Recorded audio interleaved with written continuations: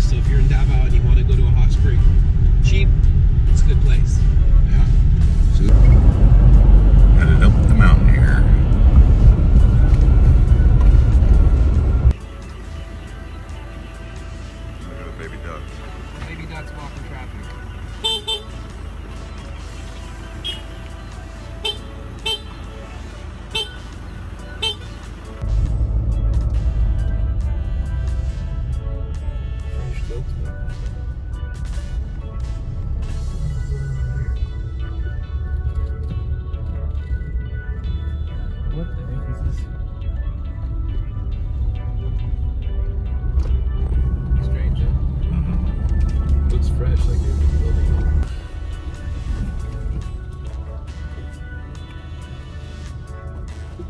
50 pesos. Was it Denhu's place? Yeah.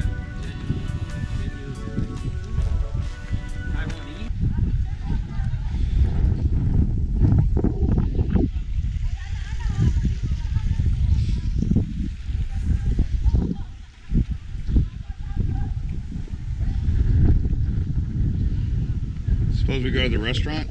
Hi.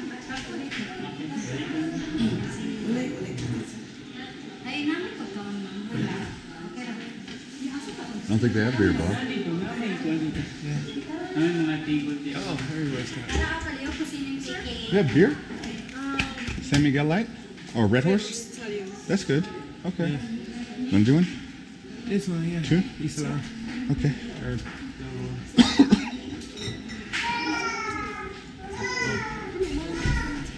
or can we have one with a glass with Bassos? Yellow Basso? Those are 500 mil.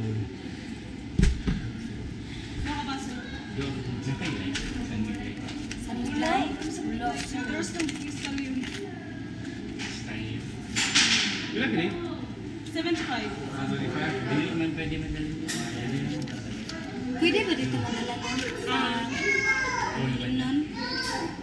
UN refugee agency is here. Pwede sa may Oh, really?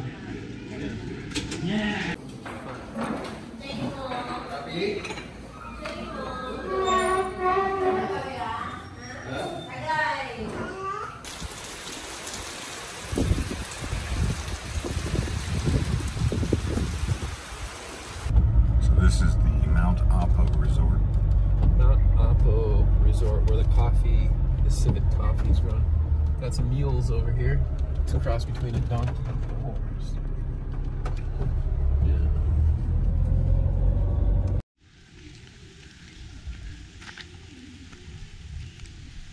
Way up here. There's some bungalows.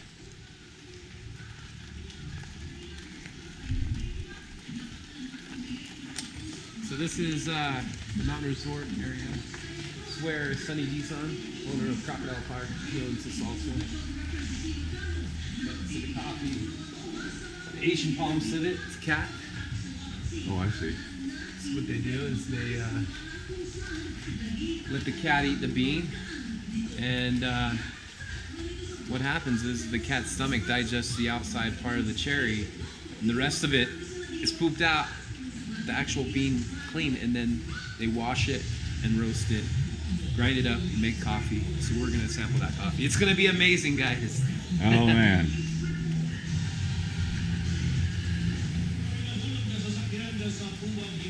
I wanna try some coffee. I'm gonna buy a, a coffee from you.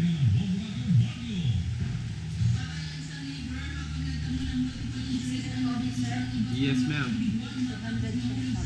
200 per cup? 200 per cup. Yes. Do you want to get two or just want to split one? You can split one. Split one. This is a taste test for a blog.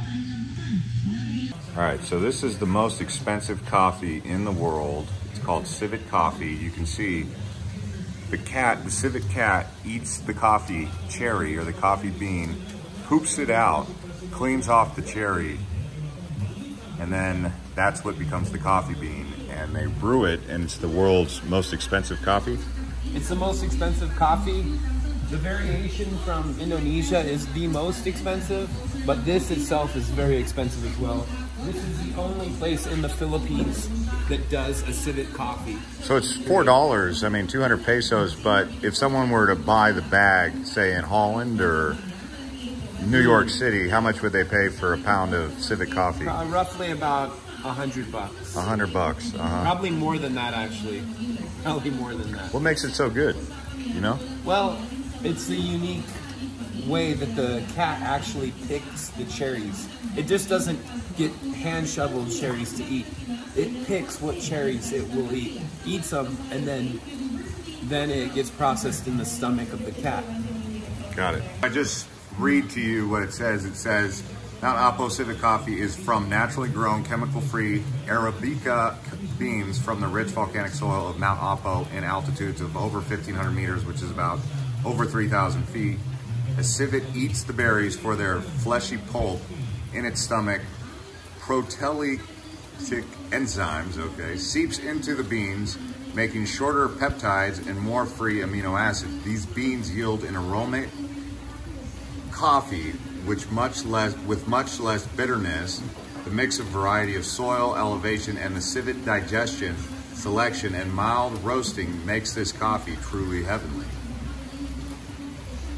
So you can pause that if you want to read this.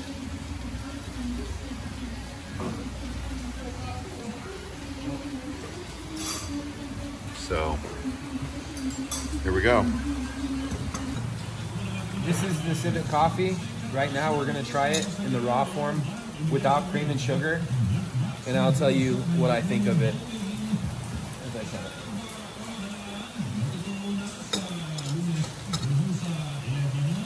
got like a real nutty kind of very aromatic smell to it. You can tell it's an Arabica kind of coffee and not a Robusta.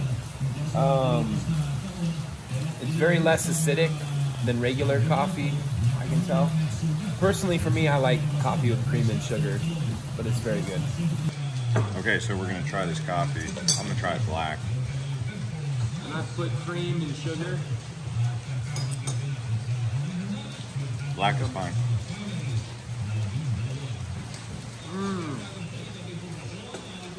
Amazing. It's good. It is. It's good coffee, man.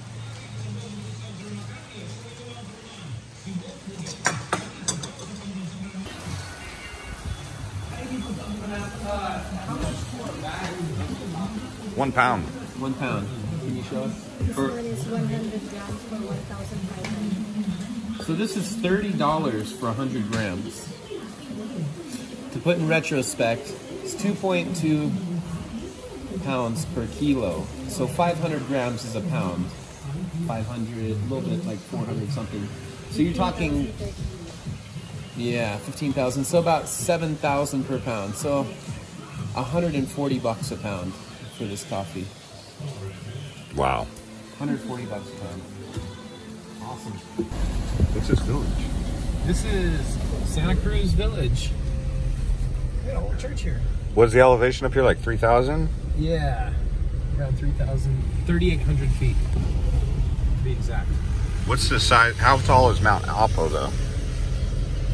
Mount Apo, The peak. roughly We don't know. about 3,000.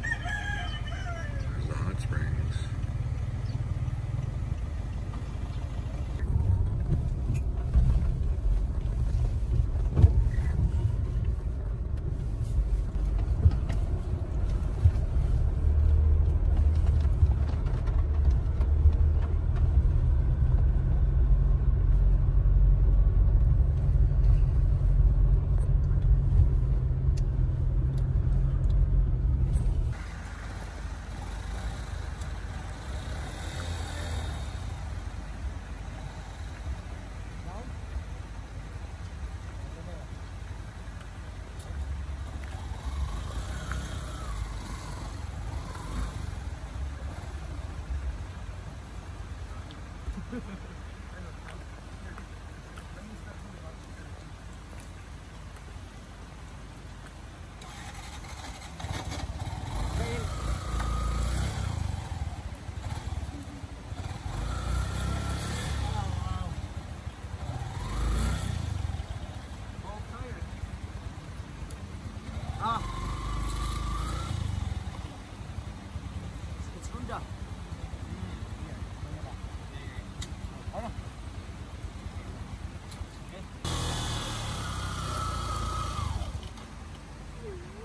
Push it. Yeah. Can't you turn it on and just use that? Thank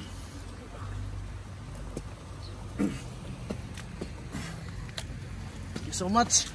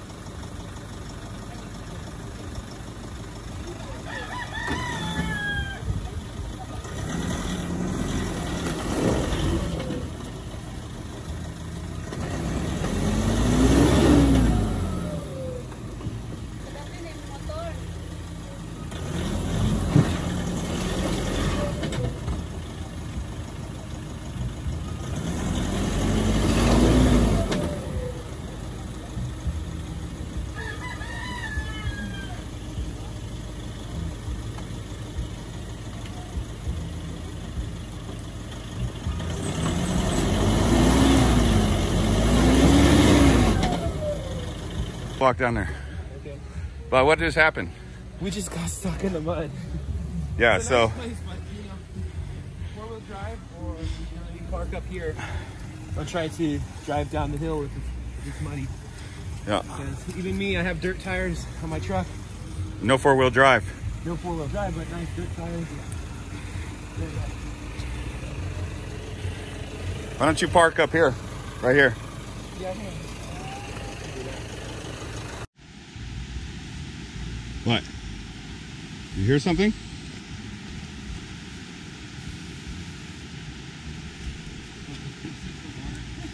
It's the water irrigation?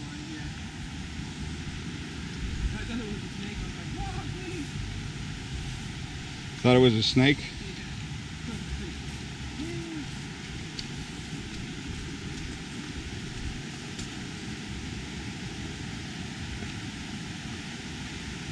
Man, this is turning into a real adventure, isn't it?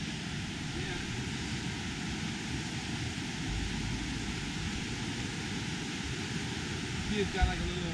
Yeah, so we got stuck up on top of that hill. Uh, we saw that this guy on a motorcycle couldn't get up. And so we were like, okay, let's see if we can back out of here.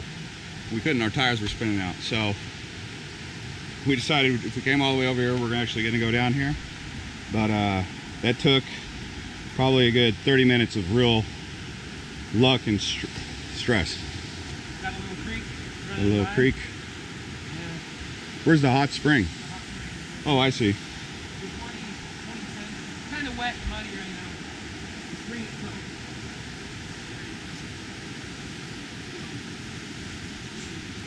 So this is a hot spring over here. We just got our truck stuck, but we got it out. It took about a half hour to get out. You can see I'm all muddy. Not my favorite. Like bathtub.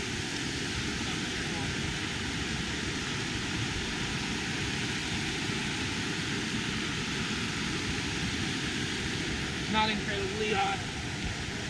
Maybe about 90 degrees. It's about 90 degrees. 90 degrees. Not incredibly hot. but It's a little steamy. Yeah.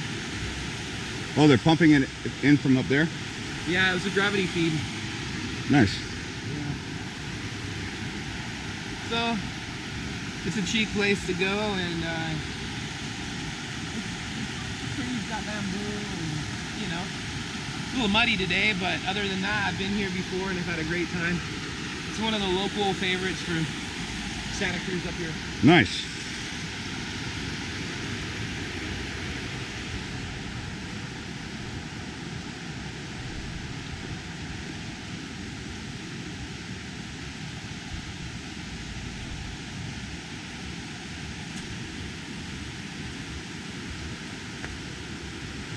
Water in the hot spring is not dirty.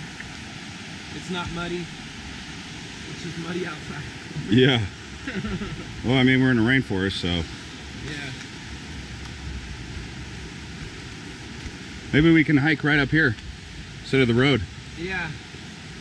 It's a bit cooler here than down below, so Yeah, it is. I mean, it's it's probably like 50 degrees. Or probably 55 degrees. nah, it's like 60. Is it 60? Okay. It's 65 maybe. feels like my air conditioned room. Yeah, especially since our shirts are wet from the rain. It feels a little bit cooler. I mean, there's still enough humidity here.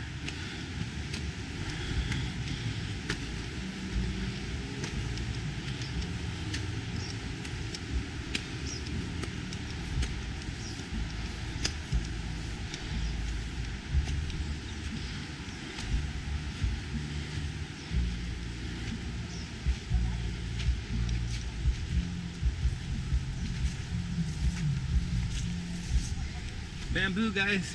Bamboo. Look at the garden, nice. You got Yeah. a nice little garden. Is this a bam- or mango? Native house. Okay. it's Okay, very good. It was Oh, good. It's, it's simple. Simple. Do you have water? Yeah, uh, drink? Yes, please. Okay, One only. two, please. You want one, right, Bobby? Yeah, might as well, because the ride back. Yeah. Well, we got out. We got out. For a fat guy like me. You came from America? Yeah. Ah, Yeah, okay. we're American, but I live in Davao. Ah, you In- married Filipina? No, African. African. Joke lang. Ah, joke. No, joke. Fil- Filipina. Thank you. Oh, I thought it, you've already been here last time. Mm, I have. Ah, yeah, I remember. I'm the tour guide today. Ah, okay. My good friend from Hawaii before. ah, Hawaii. World traveled. Ah, So I'm showing him the Philippines. He went to Vietnam last week. ah, okay. What's your name? Inisel. Ingesel. Yes, my name there in the tarpaulin. Oh, okay. Beautiful house. I love your garden right here. Nice garden. Yeah, Yeah, yeah. It's very good. nice garden. All right, sir and ma'am. Okay. Have a great day. coming. Thank you for showing. Thank you. We'll do. Bye bye. Yeah, so that's going to conclude uh, this vlog from Mount Apo. Uh, pretty good up here. Rainforest. Got Civet Coffee, hot springs, beautiful views, cool village, and some mud bogging. And nice people. And nice people, real friendly people. All right, so we'll see you on the next episode of Island Hopper TV.